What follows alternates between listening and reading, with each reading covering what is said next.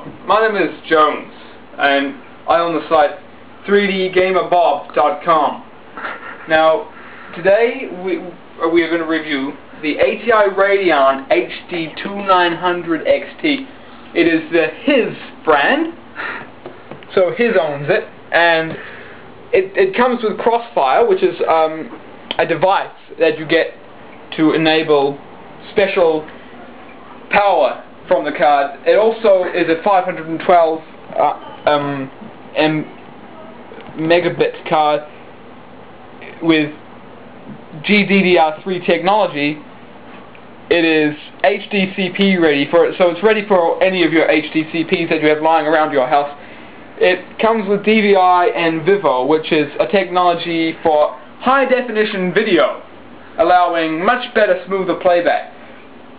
It also comes with a game by Valve, um, and you get all three details inside.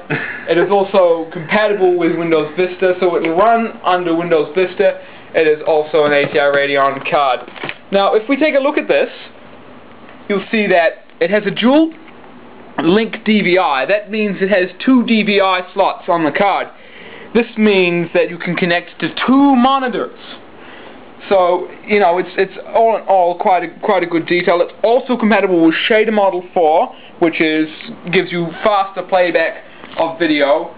It also comes with PCI Express. Now, PCI Express is a relatively new technology, which you'll find right here. This is the PCI Express, and what it does is basically powers the card so it will run much faster. And believe me, I am impressed with PCI Express. It has completely replaced um, CNR and, and, and PCI, which all connects buses to different lanes on the motherboard.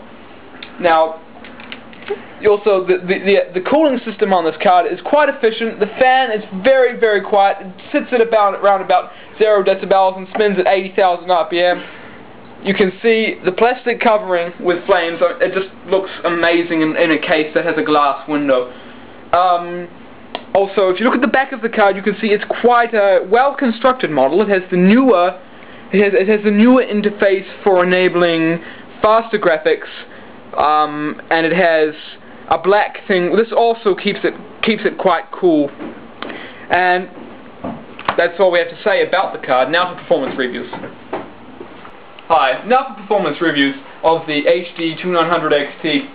As you can see, we have the card here running it's running quite well. It's good ventilation, um, quite a, quite a quiet fan, um, and we have it in the latest motherboard with the latest processor. Um, it is a Pentium 500.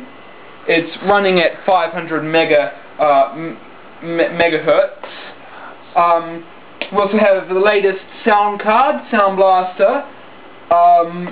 We have a very, very powerful hard drive. It's running quite fast. Um, and yeah, we're just about to check out some games and, and see how the 2900 XT runs.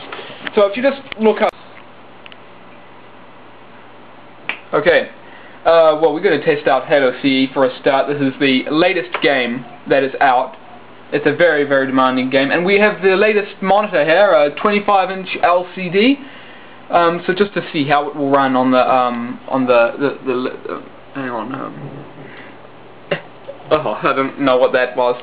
Uh, just uh, just configure the monitor. So um, yeah, we'll also see. You know, I've got quite a, a lot of RAM in this in this rig here. This will mean that the performance and the graphics will look much better. With more RAM, the graphics just looks crisper.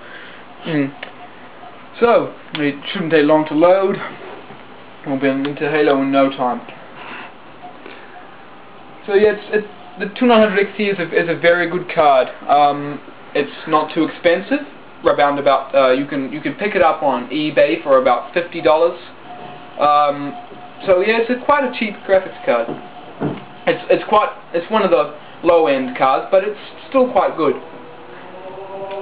So let's just load a map, create a server here.